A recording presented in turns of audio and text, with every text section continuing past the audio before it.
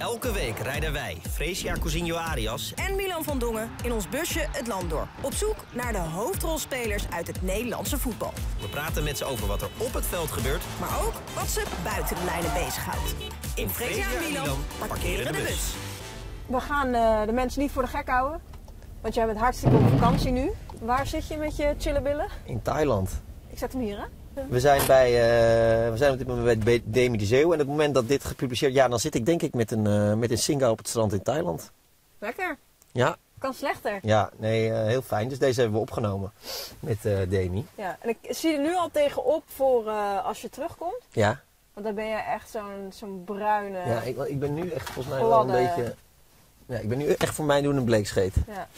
Ja, dat wordt. Uh, wordt uh, ja, mensen denken dat ik ook vaak naar de zonnebank ga. Ik ben nog nooit in een zonnebank geweest. Nog nooit, van mijn leven, zweer ik. Nee? Nee. nee. Nou, Jij wel? Uh, ik wel, ja. Ja? Ja, ja. maar niet, niet heel vaak. Het is gewoon heel slecht voor je huid. Ja, dat en is ik waar. word ook wat ouder, dus ja. ik moet ook op mijn huid gaan letten. Ik vind het wel leuk dat we bij Demi de zijn. Ja, hè? Ja. Nee, ik, ik vind het altijd wel een interessant dus, gast. Ik heb wel eens de gast gehad bij Goedemorgen Evisie. Vond ik echt een leuke jongen. Ja. Ik ben wel uh, benieuwd naar zijn verhaal. Nou, uitstappen er maar. Het regent, hè? Godverdomme. Jij hebt een paraplu mee, toch? Ja. AZ is heel veel, maar een club die bekend staat als een cupfighter is de ploeg uit Alkmaar absoluut niet. Tot 6 mei 2007. 25 jaar na de laatste bekerfinale van de Alkmaarders vaart de ploeg van Louis van Gaal een koers die moet leiden tot eremetaal.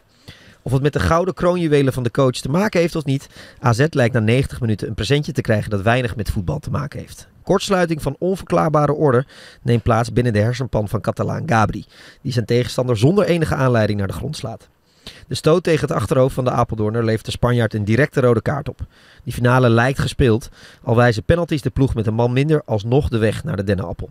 Het zal niet de laatste keer zijn dat het gezicht van de Nederlander te maken krijgt met de fysieke keerzijde van de sport. U allen herinnert zich de Uruguayaanse kopschop van de eeuw. Meer ga je horen van onze man in de bus, Demi de Zim. Ja, het is al een uh, nou ja, tijdje geleden denk ik dat iedereen je heeft gezien en gehoord. Het is een beetje stil rondom jou. Ja, ik ben niet echt veel in praatprogramma's en zo, dus ja, dan word je ook snel vergeten. Dus uh, ja, meer achter de schermen bezig. Ja. ja. Waar denk je dat mensen aan denken als ze jouw naam horen? Um, ja, ligt aan de leeftijd. ik denk jonge kinderen veel meer ballen of 4-3. En wat ouderen zal toch, ja, denk toch wel Ajax. Want altijd overal waar ik kom gaat het altijd over Ajax. En ook omdat je overal in het land eigenlijk meer Ajax support ziet dan bijvoorbeeld AZ of Go Ahead of zelfs NAC. Maar Ajax is toch altijd wel, uh, ja, je bent altijd Ajax ziet, laat ik zo zeggen. Ja, wat is het eerste wat jij zegt als je de naam Demi hoort? Um, nou ja, ja, inmiddels wel gewoon ondernemer. Maar uh, nou ja, ik heb toch wel, ja, toch die, uh, die, die blessure. Gewoon die, uh, maar, maar dat is meer ook gewoon dat dat hele toernooi weet ik gewoon bijna elke wedstrijd nog het verloop ja, en gewoon ja. hoe alles ging. Elk doelpunt weet ik ongeveer. En ik weet wel dat moment dat ik echt, je, voel, je voelt het gewoon thuis. Ja. ja. Maar dat heb jij denk ik ook, toch? Ja, nee, dat, dat is, ja, het, het was de World Press foto geworden. Hè? Ja, klopt. Hij had ook gewonnen. Ja. ja. Ja. ik ben benieuwd of, of de, jonge, de jonge fans, zeg maar, die, die, die, die een baller volgen, of, of, die, of die dat ook nog weten. Nee, maar het is wel zo'n lekker TikTok-momentje, zeg maar. Ja. Van uh, meest erge blessures, of daar zal het altijd wel in terugkomen. Zie je hem nog wel eens voorbij komen? Ja, ik zit zelf niet op TikTok, maar ik kan me wel voorstellen dat kinderen dat momentje wel van, oh, kijk, oh, dat doet echt pijn. Ja. En ja, het was ook zo. Ja. Inmiddels uh, staan je tanden er weer mooi en uh, glorieus ja, bij. Ja, het, is wel, het heeft wel heel veel, uh, ja, heel veel tandartsbezoeken gekost, maar het, uiteindelijk is het wel allemaal goed gekomen. Die, tanden, die tandarts rijdt nu in een Ferrari.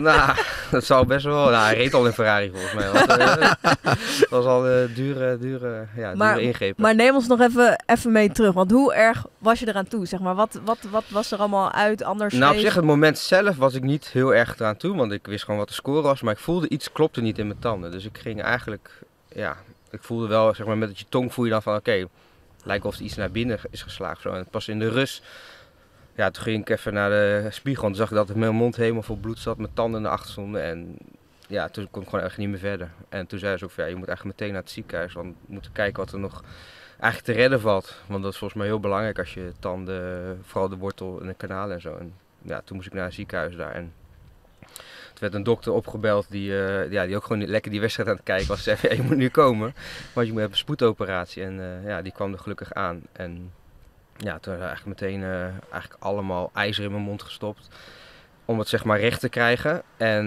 ja, toen heb ik eigenlijk één dag rust genomen. Toen ging ik de dag daarna eigenlijk wel weer rustig trainen. trainen meteen? Ja, wel heel rustig. Gewoon een beetje lopen en uh, paas en trap. En toen was eigenlijk de dag daarna was volgens mij al meteen de finale weer. Dus uh, ja, het ging eigenlijk gewoon weer verder het leven. Ja. Heb jij nog één moment gedacht, uh, ik kan die finale nog wel halen?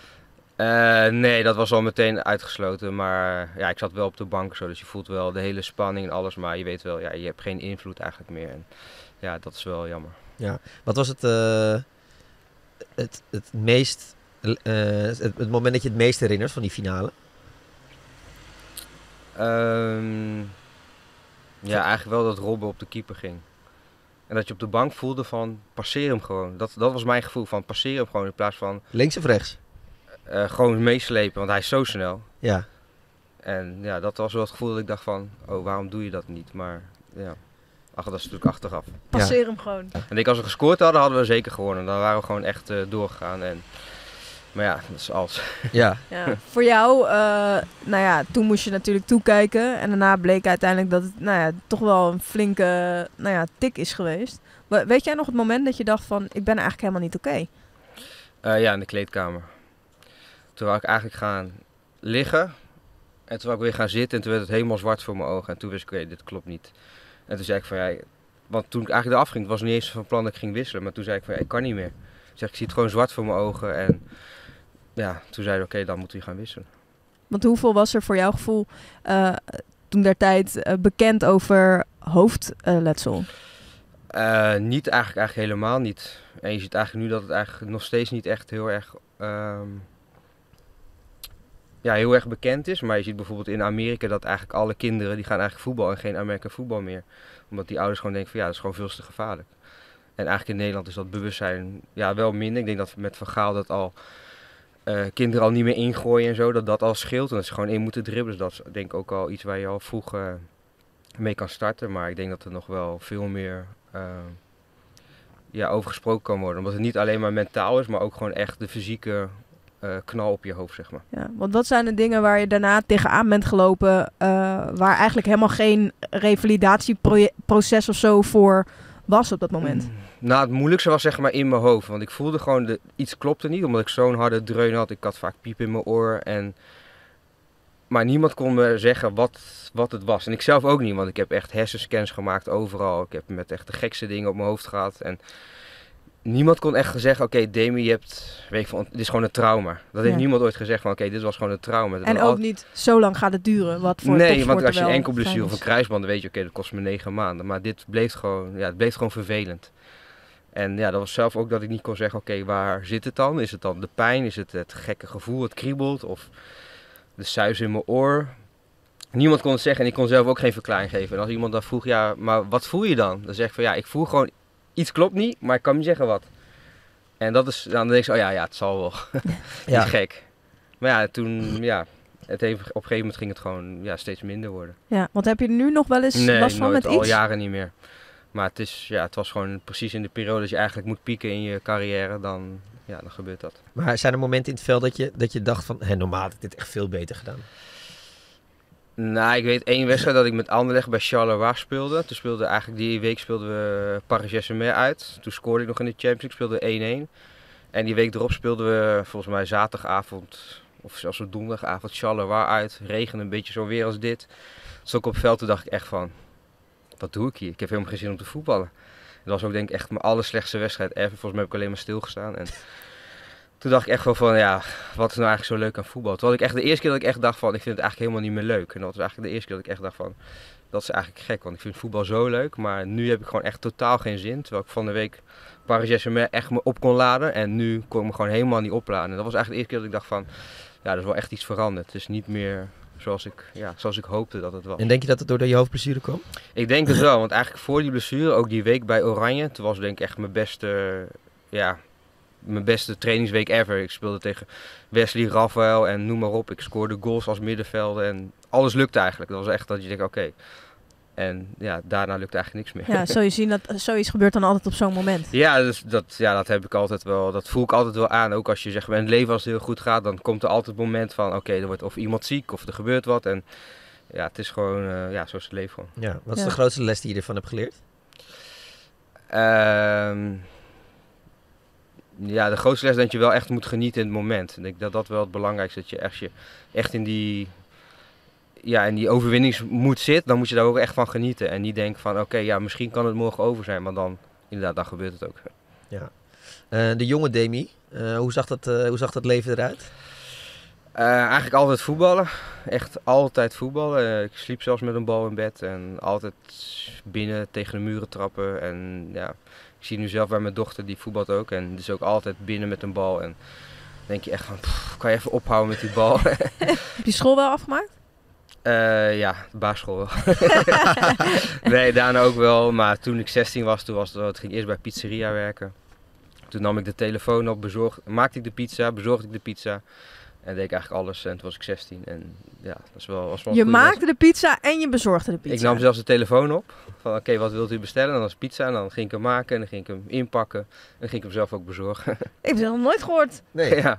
Dit is de meest multifunctionele ja, Dat was wel bij mensen van ik wist van die geven altijd goed voor. Dan kreeg je altijd vijf gulden muntje. Ja, precies. Dus dan wist ik, weet, bij hun moet ik wel gaan. Dat was altijd wel ver rijden, maar... Het was niet een geheel onbezorgde jeugd, toch? Of wel? Uh, nou, mijn ouders waren al vroeg gescheiden. Dus ik ging al heel vroeg bij mijn uh, eigen stiefmoeder wonen. Dus ja, natuurlijk dan heb je wel, ik zeg niet echt problemen. Maar het is wel, het vormt je wel als kind. Alleen ja, mijn voetbal, mijn liefde voor voetbal was zo sterk dat eigenlijk alles ja, ging eigenlijk gewoon automatisch naar het voetbal. En, ging je misschien nog meer richten op het voetbal? Ja, nou, dat weet ik niet. Ik zat er bij mij altijd al in. En ik denk dat ja, hoe je geboren wordt, dat, ja, daar kan je eigenlijk heel weinig aan doen. Je, wordt er zelfs niet, je, je, kiest zelfs niet om geboren te worden. Dus ik denk dat je gewoon heel moet blij zijn dat je ja, überhaupt in Nederland geboren bent. En ja, dat kan ook anders zijn. En, ja. Ja, dat, moet je denken, dat is al, al een heel groot geschenk. Als je het nog uh, hebt over hoofdletsel. Ik kan me er soms gewoon nog steeds over verbazen, zeg maar, hoe weinig erover bekend is. Uh, zeker met wat we tegenwoordig allemaal kunnen. We hebben nu wel dat, dat je dan een extra wissel als er iets van hoofdletsel is. Ja. Um, hoeveel meer denk je dat er, dat er zou kunnen en hoeveel meer bewustzijn zou er moeten zijn?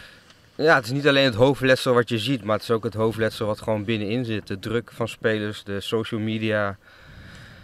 Ja, je ziet wat er allemaal tegenwoordig geschreven wordt aan spelers, dat is niet normaal. En dat, dat is nog onder comments, maar wat allemaal in DM's van spelers terechtkomt. Ja, ik snap dat bijna iedere grote speler heeft gewoon zijn reacties uitstaan. En ja, wij zijn dan een soort soms af, het afvoerputje putje van, van comments. Maar ja, het is gewoon tegenwoordig het is zo heftig wat ze allemaal krijgen. En dat is, ja, dat is wel bizar. In hoeverre, hoe krijg je dat mee? Nou, je spreekt met spelers. Ja. Uh, ja, je ziet gewoon heel veel als je al naar accounts gaat van spelers. Je een comment wil doen onder Benzema bijvoorbeeld dan kan het al niet omdat uh, ja, de reacties zijn uitgeschakeld. En sommigen laten niet eens meer reacties toe. Bijvoorbeeld Neymar is ook alleen maar zijn vrienden. En ja, ik snap het wel. Je ziet hoeveel berichten wij al krijgen per dag. En ja, de, gisteren krijg, ik ook 5 tot 10 berichten van... Hé, hey, waarom posten jullie niks van Feyenoord op 4-3? Ik zeg, ja, we hebben 4-3 0 maar op 4-3 is de Nederlandse competitie niet heel erg interessant. Maar ja, dan is het al van, ja, zie je wel, 4-3 is Ajax en uh, bla bla bla. Maar ja, dat, dat krijg ik al. Maar laat staan al die spelers. Ja. En ja, dat is gewoon uh, ja, niet leuk. Dat is iets van de laatste jaren met de opkomst van social media natuurlijk erg geworden. Um, ja. Had jij dat in ja, hoe was jij daar om mee, mee, omgegaan toen jij, zeg maar, als je nog actief was? Nou, ik heb soms ook wel eens dingen teruggezegd tegen fans en dat ging ook dan een hele eigen leven leiden. Maar ja, het is gewoon soms moeilijk. Soms wil je gewoon iets nou, soms denk ik dat spelers elke dag wel reacties willen teruggeven van ja, wat kan jij ervan? Kom maar tegen mij spelen. En ja, dat, je krijgt alleen maar gezeur mee. Het heeft geen zin, want je kan toch nooit van winnen. Ja. En het, is, uh, ja, het hoort er eenmaal bij, maar ja, af en toe moet je wel, uh, ja, denk spelers ook opvoeden hoe daarmee om te gaan. En dat wordt volgens mij totaal niet gedaan. En je kan als spelers heel erg bewust maken van, bijvoorbeeld nu met al die juice channels tegen spelers van, kijk uit wat je op je 16 of 17e post of stuurt naar een meisje. Want het kan zijn dat het tien jaar later weer terugkomt. En ik denk dat spelers daar veel meer voor uh, behoed moet worden door clubs dan, dan er nu denk ik gebeurt. Ja, maar jij, kijk, in jouw tijd was, je, was er natuurlijk nog niet social media, maar... maar... CO2, Hives. Ja, mooi. Had jij CO2 Party Peeps. Party Peeps, dat, ja. allemaal. CO2, dat had je toch zo'n vraag... Jij bent te jong voor CO2, denk CO2 ik. CO2 heb ik niet uh, gehad. Nee, Demi niks. En, ik ja. ben toch meer de generatie van Demi. Ja. Party nou, Peeps, ja. CO2 moest je van zo'n 100 vragenlijsten, weet je nog? Ja, dan moest je eerst vragenlijsten. Wat was dat dan? Ik, ik heb er nog nooit van gehoord. Nee.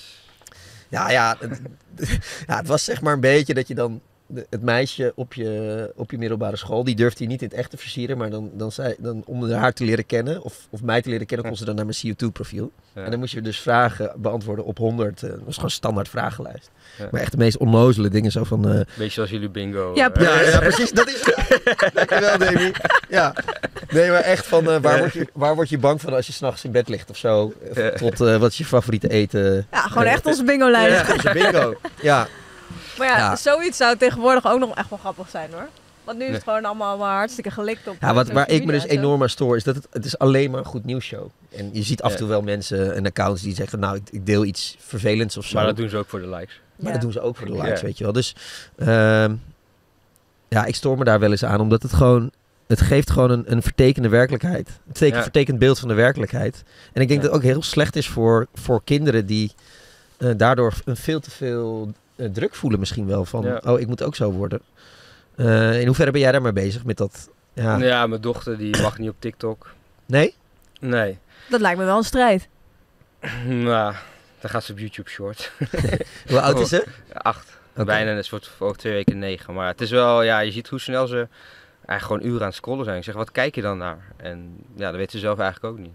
Dus dan meestal gaat ze nu maar Touzani kijken. Dat vindt ze wel leuk. FC Straat. En, uh, ja. Maar het is ja, ik zit zelf ook niet op TikTok of ik vind ook reels, ja, ik kan er niet naar kijken, gewoon uren. Ik vind af en toe een keer een filmpje leuk, maar ja, het is gewoon tijd. Uh, ja, het, het, is leeg, hè?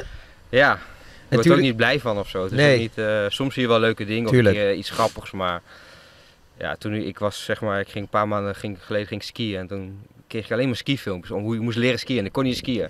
En daar had ik wel echt van geleerd van, oké, okay, je moet gewoon remmen, gewoon stoppen. En die pizzapunt ja. moet je gewoon vergeten. En ja. ja. op een gegeven moment, dat was wel, denk je, oké, okay, dat is wel handig. Maar ja, ik denk dat je veel meer educatie kan geven in die filmpjes in plaats van uh, ja, wat er nu gebeurt. We gaan onze, uh, wat was het, CO2, CO2 vragenlijst, vragenlijst erbij ja. pakken.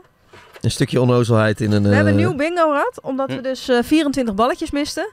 En maar jij ik, twijfelt nog steeds over 100 Ik denk niet zitten. dat dit er 100 zijn. Hmm. Nou, gewoon, Ja. de Short Ons, zegt onze hier redacteur. Het is, die eh, steekt zijn wel hand ervoor in het vuur. Nou ja, we gaan het zien. Eh, Ja. Eh, jij mag draaien. Oké. Ja. Ja, hij komt hieruit. B13. 13. Je favoriete pizza? Eh, Margarita. Margarita. Deze komt Ja, gewoon naar dat is boven. wel makkelijk. Ja, dit is, eh, Ja. dit is- Dat is deze komt naar boven. Ja, Margarita, ja. die bestel ik dus nooit, omdat ik denk, ja, dat is te simpel. Ja, dat is juist één fout. eh, is makkelijk. Meestal als je wat anders erop doet, dan komt er weer ja, of heel veel sap of olie. En dan denk ik van ja, doe maar gewoon Margarita, is het makkelijkst. Eh, volgende, Demi. Ja, het is... Dit is 39. 39. Als ik bondscoach van Nederland was, dan zou ik puntje, puntje, puntje oproepen. Ehm Dus, dus iemand die er nog niet bij zit. nog niet bij zit. Want ja. Ehm, Frenkie de Jong zou je natuurlijk wel oproepen. Ja, die zou ik er ook wel bij hebben op zich. Dan zou ik die, ik weet niet of hij Nederlands zegt, die jongen van AZ, die linksback. Eh, Kerkers. Kerkers. Nee, is Hongaars. Hongaars. is wel een lekker spelletje. hè? Ja. Die is goed, hè? ja, die heeft gewoon drive en dat wil je eigenlijk eh, hebben aan die linkerkant. Ja. Ja. Ehm, wie zou ik dan oproepen? Die eh Reiners van AZ. Hij heeft wel... eh, Lijkt wel een beetje op jouw kasteel. Ja. Ja, klopt. Hij speelt wel een beetje hetzelfde, ja. Oké, volgende.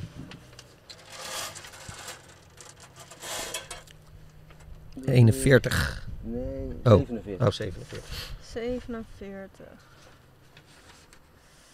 Wat is een mooi voorbeeld van een slechte verliezer uit jouw team? Een mooi voorbeeld van een slechte verliezer. Ja, wie, wie kon echt slecht tegen zijn verlies? Bijna elke voetballer natuurlijk. Nou, Niet alleen tegen zijn verlies, maar eh denk Suarez. Ook als we wonnen en hij scoorde niet, was hij ook zagrijnig. Ging hij ook meteen naar huis. Ja? Dus, dus hij kon en slecht verliezen, maar ook als hij niet scoorde, dan was hij ook gewoon Slechte zagrijnig. winnaar Ja, ook. dus dat was wel, eh, ja, dat, ik denk dat tekent hem ook wel dat hij gewoon altijd wil scoren. En ja, dat was wel grappig. Dat Maar mo- moest je er dan wel gewoon een beetje om lachen? Ja, we gingen ook al jennen van kom op man, je hebt toch gewonnen, je bent toch een team. Maar hij kon, eh, vooral als hij kans had gemist, dan, eh, ja, dat vond hij wel vervelend. Maar had, je, had jij verwacht? Liverpool, Barcelona. Jawel, want ja, bij hem op training alles was goal. Eh, nog twee, eh, Demi. 48, ja. 48.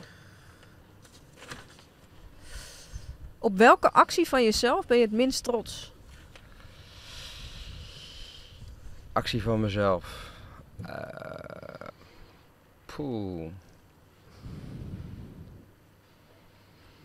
Misschien een keer een rode kaart of zoiets. Ja, ik denk, ja, dat was, dat was misschien niet zo slim, maar we speelden met AZ in de arena. Volgens mij was het beker. En toen sloeg ik een bal uit de goal die eigenlijk al een goal was. En daar kreeg ik rood voor en toen verloren we 6-1. En dat was wel, ja, dat voelde je wel. Over Suarez gesproken. Ja, nee, ja, maar die reed hem nog voor de lijn. Ja. Ja, het was nog geen VAR, maar die bal was al echt een meter in de goal. En toen kreeg ik en een rode kaart. En volgens mij kregen we nog een penalty tegen. En toen verloren we 6-1. En dacht ik van ja, misschien had ik hem gewoon in. Ja, ik was boos en daarom sloeg ik hem uit de goal. Maar hij was echt al een meter, meter erin. Zou nu nooit meer gebeuren. Nee. Ja, nu gaat de VAR gewoon kijken. Ja, Ja. Maar dat is nog een relatief brave actie in een, eh, in een lange dat echt, voetbalcarrière. dat, is, dat is wel echt de enige keer dat ik echt denk van oké, toen heb ik echt mijn team echt in de steek gelaten. Omdat we gewoon veel beter als Ajax waren toen. Alleen ja, ja dat was een beetje een domme actie. Eentje nog. Yes. Oh, het is deze. Ja, mag ook deze. Welke Dit is is het? 63. 63.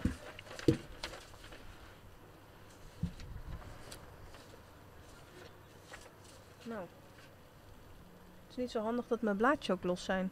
Dan heb je ze niet op volgorde. Nee, Ja, dan ga je het nooit vinden.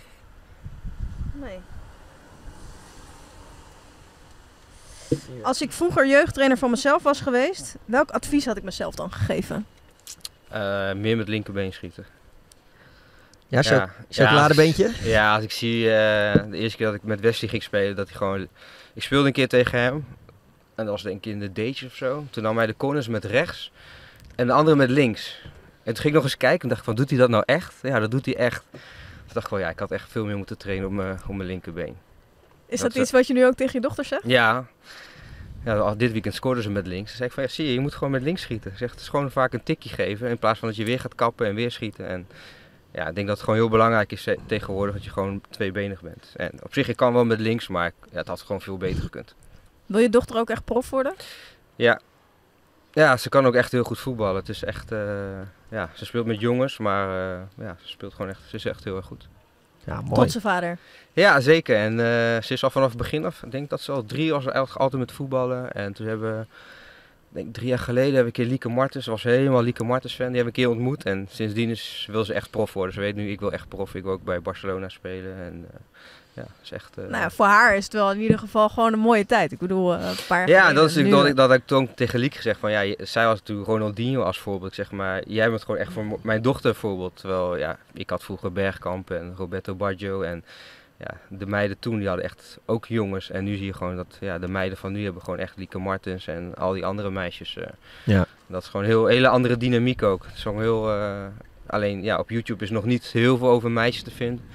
Dat is wel jammer, maar dat, ja, dat is gewoon een kwestie van tijd, denk ik. Ja, Champions League finale dit jaar in eh, Nederland, hè? Ja, in Eindhoven toch? Ja. Ja. Ja. Dus eh, weet je waar je heen moet met je dochter? Ja. Ja, dat is een mooi trippie. Ja, ik ben al met haar naar het EK was geweest. In Frankrijk waren we geweest. En eh, we zijn nog een keer in Barcelona ook gewoon naar een gewone wedstrijd. Dus de, ja, het is wel voor haar wel in ieder geval leuk dat ze nu wel echt meiden ziet. En ze zit ook op dansles en daar zijn altijd de, de meiden van ADO komen altijd daar langslopen. En eh, ja, dat is wel leuk om te zien. Je bent nu natuurlijk ondernemer. Ja. Waarom ben je een goede ondernemer, denk je? Eh, omdat ik precies weet wat ik wil. Ik denk dat dat, ja, soms voor mensen wel vervelend, maar ja, ik weet gewoon precies hoe ik het wil. En zo moet het ook gebeuren. En daar wijken we eigenlijk niet vanaf. En ja, dat is wel soms wel lastig voor mensen, omdat ik gewoon heel eerlijk ben. Want ik kan, als iemand een week met een presentatie bezig is geweest of iets, dan kan ik er binnen één seconde helemaal kapot maken. En dat is denk ik ook wel een beetje eh, topsportmentaliteit. En soms moet ik dat soms wat aardiger formuleren. Maar dat, dat vind ik nog best moeilijk. Ik zie het helemaal niet voor me. Nee, maar stel, dit is mijn uh, presentatie van een week. En uh, Demi, nou, ik vind, uh, we gaan het zo en zo doen. En het lijkt me goed als we... Nou, misschien is het leuk om, om die en die erbij te betrekken. Mm. Ik denk dat het een goede mo mogelijkheid is voor ons. dat doe je schattig op ja. Kom maar. En wat zeg je dan? Dan zeg je, waarom heb je niet op een iPad gedaan? Nu moet je het zuiken. Ja, maar het kan dus echt venijnigheid ja, dan, van dan van, ja, dat is, ja, dat, soms vind ik dat zelf ook wel lastig. Omdat ik gewoon ja, ik weet niet hoe ik het zeggen. Denk, als je topsporter bent geweest, dan ben je elke dag met, in battle. Of met je teamgenoot als concurrent of met een team. En hier op kantoor, dan, dan zitten ze lekker en dan uh, lekker pingpongen. En dan denk ik van, dan presenteer je en denk van, heb je erover nagedacht? Of, ja, dat vind ik gewoon heel moeilijk om dat te accepteren. En ja, goed voorbeeld, we hadden de zomercollectie, gingen we lanceren. Hadden ze allemaal mooie filmpjes, hebben ze vergaderingen over gehad en alles. En met elkaar gezeten. En dan schiet ze een zomercollectie op de Zuidas. Nou, toen dacht ik echt van, zo, hoe kan je een zomercollectie op de Zuidas schieten? Waar de gebouwen heel hoog zijn. Heel hoog, alles is grijs. Alleen maar schaduw. De zon scheen niet. En dan denk ik van, heeft er echt dan niemand daarover nagedacht? En ja, maar dat is denk ik wel het bedrijfsleven. Ik denk dat dat echt... Uh... Maar hoe, hoe uit je dat dan? Want je, van binnen heb je nou, bepaalde Nou, dan ga ik naar mijn partner en dan zeg ik van, heb je dit gezien? Zegt hij, wat? Ik zeg, nou kijk eens goed een zomercollectie op de Zuidas. Dat kan toch niet? Nou, dan gaat hij weer de andere mensen roepen. Nou, dan hebben we de dag erna een meeting. Dan zeg je, nou, hoe kan je dat? Dan denk je toch over na. Dan zit je met acht man in de kamer. Dan denk je van, hoe kan dat dan gebeuren? En ja, toch gebeurt dat in het bedrijfsleven. Dat, ja, daar kan ik gewoon met mijn pet niet bij. Maar hoe goed ben je in delegeren? Nou, ik ben heel direct. En ik weet precies hoe ik het wil. En zo gaan we het ook doen. En dat zorgt ook ja, ik wil niet zeggen dat het ook het succes is, maar dat is wel waar, waar bekend staat. Alles is mooi, alles is positief. En niet iedereen begrijpt dat. Zeker de jongens die nieuw komen werken, die begrijpen dat niet, niet. En dat is wel soms, ja, je kan het heel rustig doen. Of je kan het met harde hand doen. En ik denk met harde hand hebben ze alleen maar meer aan dat je gelijk duidelijk bent. Wat je net eigenlijk beschrijft, hè? Dat, dat in het bedrijfsleven dat het er toch anders aan toe gaat. En dat dat in de topsport ehm, heel anders is. Toch heb je ook wel een bepaalde aversie gehad tegen de voetbalwereld. Uh, ja, nog steeds wel hoor. Nog steeds wel. Waarom zeg ik, ik zit ook niet voor niks aan al die tafels. En ja, het is wel. Het is gewoon heel erg. Uh, hoe zeggen? Heel erg achterbaks. Dat vind ik vooral. En ik denk dat eerlijkheid, daarom ben ik zelf ook nu in bedrijf ook gewoon zo eerlijk mogelijk. En als ik dan tegen een jongen ga zeggen van ja, weet je, we kiezen voor een ander systeem en daarom kiezen we niet jouw presentatie, maar die van een andere jongen, want die klant is heel aardig en die houdt van bloemetjes en jij houdt niet zo van bloemetjes. Zeg gewoon, het is niet goed genoeg. En dat vind ik bij trainers vaak van, ja, ze gaan iets verzinnen van, jij, jij speelt niet, want ik wil een ander systeem. Dat denk ik een goed voorbeeld van gisteren of bij Ajax en Feyenoord dit seizoen. Bij Feyenoord zijn ze gewoon duidelijk. Stond er gewoon, jij speelt, Danilo was niet goed genoeg of Gimenez is niet goed genoeg. Hij speelt gewoon niet. En dan hoor je bij Ajax, ja, we moeten eigenlijk een plekje voor Thijs hebben. Dus Berghuis gaat naar links en gaat Berghuis naar rechts. En dat zie je met Schreuder, werkte gewoon niet. Spelers hebben gewoon uh, behoefte aan duidelijkheid. En ik denk dat, niet alleen spelers, ik denk dat iedereen in het leven gewoon behoefte heeft aan duidelijkheid en vooral eerlijkheid. En hoe hard het ook is als iemand niet eerlijk is, je, komt er wel verder mee. Hoe kijk jij naar die, die huidige cultuur van dat er redelijk snel uh, over grensoverschrijdend verdrag op de werkvloer wordt gesproken en dat daar dat mensen, nou, um, nou, dat dat steeds meer oud in die open is, dat mensen daarover kunnen ja, klagen. Ja, het is wel moeilijk, omdat je... Kijk, als je hoort wat spelers in de kleedkamer tegen elkaar zeggen en zo. Ja, als dat allemaal op straat zou komen, dan zou je elke week een onderzoek moeten hebben. en ja, het is wel... Ik kan zeggen, het is, ja, het is gewoon hoe het is tegenwoordig. En ja, alles wat je zegt, dat legt ze onder vergrootglas. En natuurlijk, tijden veranderen, mensen veranderen. En ik denk dat je wel mee moet gaan met de tijd. Maar het is niet zo dat je om alles... Uh, ja, moet gaan piepen. Ja, ja, ik ben niet bang dat er over een paar jaar een artikel over de, over de tiran Demi de Zeeuw uh, in de Nee, want ik doe het altijd met respect. En uh, ja, je moet gewoon, we hebben een gezamenlijk doel. Dat was eerst de grootste voetbal-app op social media of grootste account worden. En nu willen we gewoon de allerbeste app worden. En als je dat niet mee kan, ja, dan is 4-3 niet de plek voor jou. Nee. Wat was je meest gelukkige tijd als voetballer? Bij AZ. Ja, toen kwam ik van Apeldoorn eigenlijk als klein jongetje. En toen speelde ik de eerste tijd met ja, met Kenneth Perez, met uh, Barry van Gaal. Was dat leuk met Perez? Ja, ik had een hele goede klik met Perez. dus uh, nee, dat was echt een hele leuke tijd. En toen begon ik echt, ja, bij Go Ahead dan ben je uh, eerste divisie. Toen, dat, dat voelde niet echt als profvoetballen. En bij AZ speelde ineens een volle stadions in de arena. En ja, dat was echt vier jaar lang eigenlijk een vriendenteam. En dat was gewoon ja, eigenlijk, eigenlijk de leukste tijd. Ja, dat je gewoon kampioen wordt met AZ. Ja, kampioen, maar ook gewoon onderling. Gewoon het trainen elke dag was op het beste, op het hoogste niveau. En ja, dan kon je gewoon genieten als je wist, oké, morgen gaan we weer vier tegen vier partijtjes doen. Dan, ja, dat was gewoon leuk. En ja, eigenlijk die, die vreugde, die heb ik eigenlijk niet vaak gevoeld bij andere teams. Eigenlijk. Toen heb je in dat moment er ook wel echt van genoten? Of pas later dat je realiseerde van dit is eigenlijk helemaal niet was, de standaard? Ja, toen was het echt leuk. En toen woonde ik in Amsterdam. Ik was vrijgezel en Jimmy Who, Palladium, allemaal dat soort dingen. En toen was je echt profvoetballen, mooie auto. En ja, dat was wel echt een tijdje. Oké, okay, ja, het leven van het profvoetbal is dit, zeg maar. Ja. En uh, ja, daarna wordt het eigenlijk alleen maar moeilijker en minder leuk. Omdat je gewoon bekender wordt en je kan niet meer over straat. En ja, dat is, bij AZ is dat niet. Die jongens hebben allemaal gewoon lekker, ja, die kunnen overal heen. Die kunnen naar Rotterdam, naar Amsterdam, zonder problemen. Je hebt natuurlijk ook uh, nou ja, wel wat verschillende trainers gehad. Um, van welke trainer heb je um, het meeste meegekregen waar je misschien tot op de dag van vandaag nog wel iets, iets aan hebt of die je misschien nog wel eens iets in je ja, hoofd hoort? Dat is makkelijk. Het is echt geen voetballer die niet dit antwoord geeft. Hè? Nee, nee, nee, je weet het niet. Uh.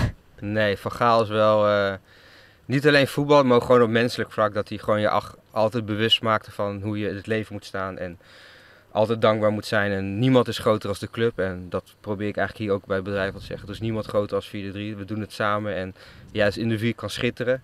Maar dat komt omdat 4-3 de company is. En dat is eigenlijk in het voetbal niet anders. Niemand is groter als de, ja, als de club. En dat zie je aan Ronaldo. Die ook heel groot is. Maar uiteindelijk Manchester is groter dan Ronaldo. En dat zie je, die gaan gewoon verder.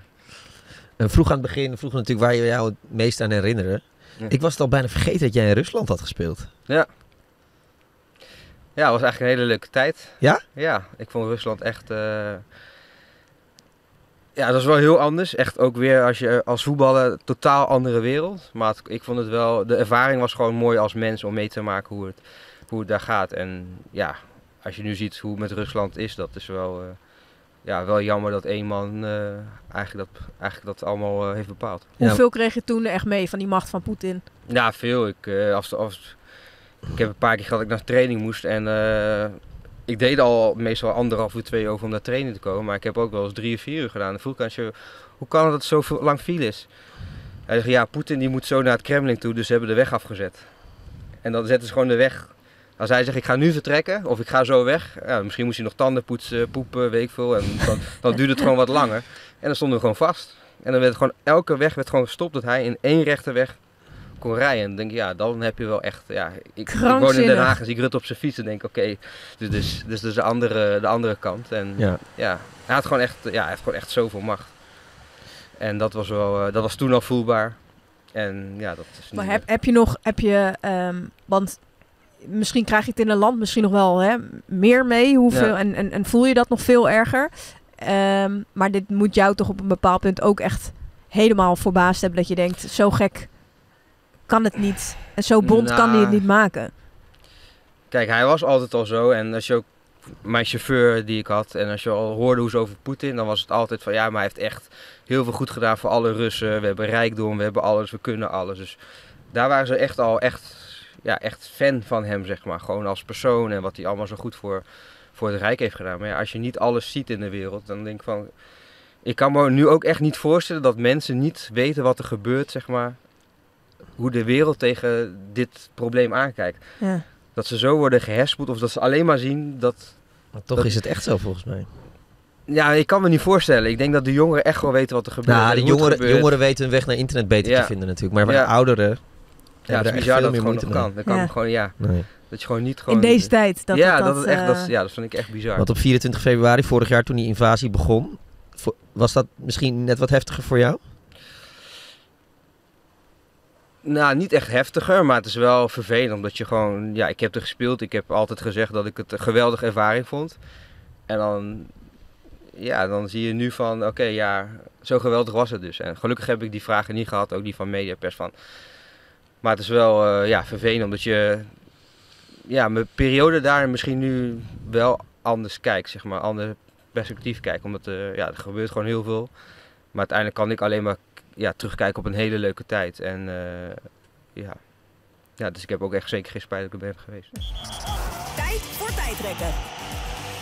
Als ik mijn leven over zou doen, was ik geen voetballer geworden. Jawel. was ik alsnog voetballer geworden. Demi de Zeeuw is een betere ondernemer dan voetballer. Mm, nee, dat denk ik niet. Het boek dat me de meeste inspiratie heeft gegeven is... Ehm, ja, hoe heet hij nou ook weer?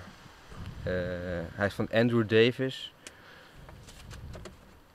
Andrew Davis. Uh, brandscaping. En, Gaat nou hij ja, over? Eh, die gaat over dat je als ondernemer verder moet denken dan alleen wat je denkt dat je bent. Dus eigenlijk als je weet ik, voor ESPN bent, dat je ook eh, boeken kan uitgeven, school, colleges kan geven. Eh, gewoon veel verder denken. Grappig. Ja. ESPN school. Ja, Academy. Dat wij dan voor de klas gaan staan. Lijkt me echt super leuk trouwens om. eh, Ja, mensen Om, eh, opleiden om eh, presentator te worden Ja. bijvoorbeeld. Ja, jij, jij was, was toch laat bij eh TV Academy? Nee, ik, ik heb dat een keer gedaan, vond ik echt heel erg leuk. Ja. Ja. Ja, ik geef bijna elk jaar nog wel college hoor. Ja. Ik vind Ja. dat superleuk. Nou ja, Ja. Wat een, eh, goed idee, Demi. Eh, zonder de schop van eh Cachères had ik nog een stap gemaakt naar de Europese topclub. Eh, niet topclub, maar ik denk wel dat ik eh, het niveau had om bijvoorbeeld bij een Sevilla te spelen of wellicht een Tottenham. Niet de echte top. Maar Bij, wel de bij welk club had je echt heel graag willen spelen? Eh, gewoon als ik wel gewoon kon kiezen, Ja, ja, ja. eh, Barcelona. Ja? Ja, Barcelona en Arsenal. Ja, die Frenkie heeft toch een fantastisch ja, leven. ik, ik snap ook. Ik, snap- ik kan me ook niet voorstellen, toen Dani Alves van Barcelona en Juventus, dan denk ik echt van, waarom ga je in hebt alles in Barcelona en dan ga je bij Ja. Juve spelen. Ja. Ja, Nee, ik, als die Instagram Ja, af en toe... altijd ik- blijven. Ja, ja. gewoon je, heel je leven. ik Ook al snapte word hem ook zo goed dat hij Ja. niet naar United eh, wilde. Nee. Nou, ik snap dat het een keer wel, gaat maar... kriebelen zoals Casimiro, maar Ja. ja, als je bij Barcelona of ja, ja, ik zou gewoon er blijven. Ja, maar ja, Ja. het is daar wel nu een tyfuszooi op sommige gebieden. Maar goed. Ja. Ehm, Jij, jij bent, sorry. Nee, sorry. Het leukste dat ik al, al- tijdens al mijn ritjes in Rusland heb bedacht om de tijd te doden is... Eh, boeken lezen. Je zat Ja. af en toe gewoon twee, drie uur in de auto.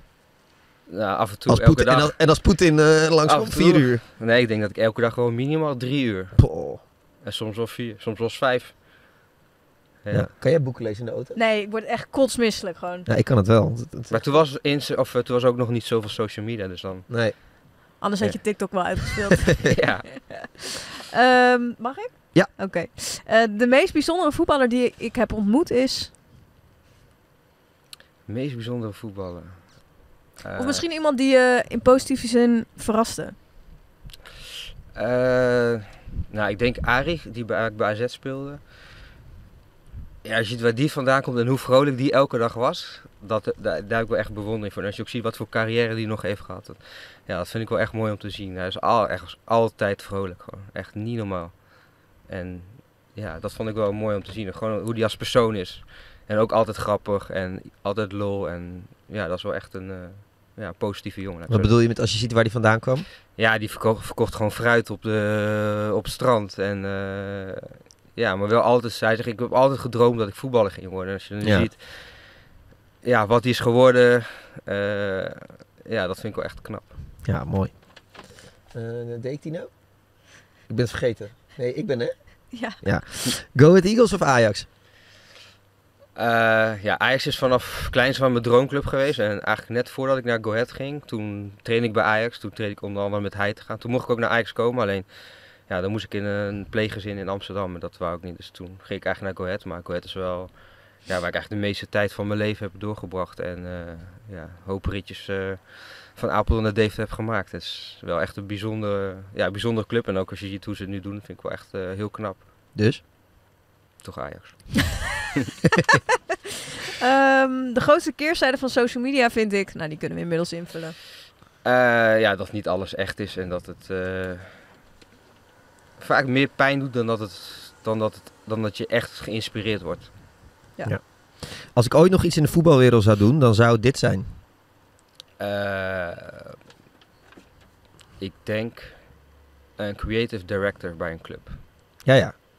Dus dat eh, is eigenlijk in Nederland niet. In nee. Amerika zijn wel veel die gewoon de club op een andere manier gaan branden.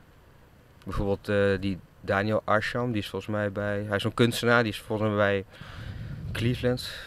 Daar de, ja, die doen allemaal gewoon aparte concepten. Maar wat, wel, bij welke club zou zoiets dan passen en kunnen? bij Ajax, bij Feyenoord, ik denk bij grote clubs wel.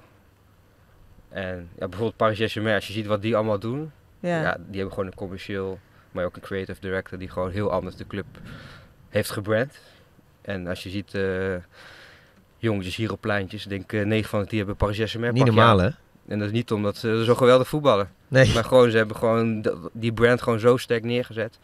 En dat is wat ik ook wel, uh, ja, dat lijkt me ook heel leuk. Cool. Geld maakt gelukkig, want? Um, omdat je gewoon vrijheid hebt. Ik denk dat dat eigenlijk het allerbelangrijkste is. Dat je gewoon kan doen wat je wil. En ja, maar het, ja. het maakt niet gelukkig, maar het leeft gewoon makkelijker. Dat is eigenlijk het enige. Gelukkig. Je, je dacht al, we moeten nu... Nee, maar... Hè? Ik wilde ingrijpen. Ja, maar toen zei hij toch wat je eigenlijk wilde zeggen. zei iets heel verstandigs, waar ik heel blij van ben. Thanks voor je tijd. Vond het leuk. Thanks, Davy. Dankjewel. En succes met alles uh, wat nog komen gaat. Jullie ook.